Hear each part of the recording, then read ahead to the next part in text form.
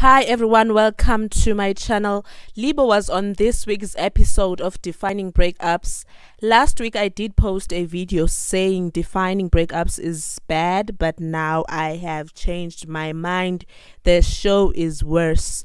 Last week, Thimna was one of the participants defining her breakup with Libo. Let me give you a little bit of background. Thimna and Libo were winners of Love Island South Africa season 1 after the show, they became couple goals.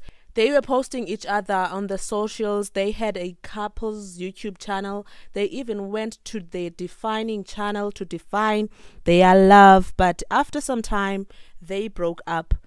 Now, Thimna went to defining breakups last week to answer a few questions about their breakup, but she didn't reveal much. But she made it clear that she is no longer with Libo.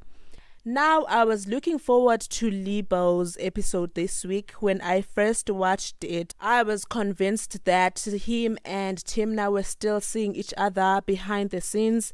Libo said a mouthful about his ex. He was even trending on Twitter. Okay, so let me explain a few questions that he answered. The question was Do you think you are compatible with your ex? And he said yes, but things kind of went south between them. But now he realizes how compatible they were. He was asked when last did he see his ex, and he said this morning, which was suspicious. Then he said he accompanies his ex to the mall from time to time. He said a lot. Basically, all this made it seem like he was still with Thimna. You could see he was even blushing time to time and acting like he regrets breaking up with her. Before I get to Thimna, another thing I noticed was that he was kind of horrible to her while they were dating. He said he missed being single while while he was in a relationship. He even said he is for the streets. He was trending and some people were saying the show should be called Defining Love Back because it seemed like he was still in a relationship with Tina. And other people were coming for Thimna because Libo made it seem like Thimna was lying when she said they are no longer together last week, and Thimna was not here for it.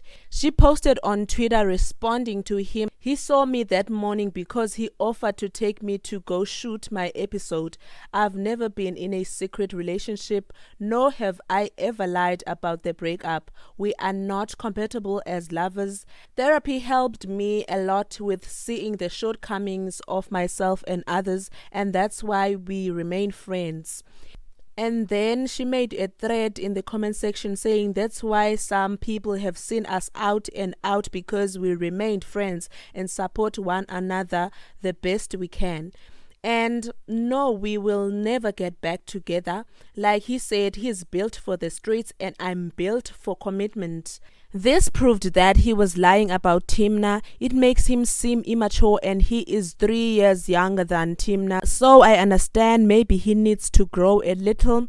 If you remember on the show Love Island, Thimna was 26 and he was 23, if I'm not mistaken. This confirmed that they are still friends, but he is using her name for clout. At this point, I don't even think they should be friends. I mean, Thimna could be pursuing a relationship with someone else for all we know. This could even cause problems with her potential partner. Anyways, share in the comment section what do you think about this. Thank you for watching until the end. Please like and do not forget to subscribe.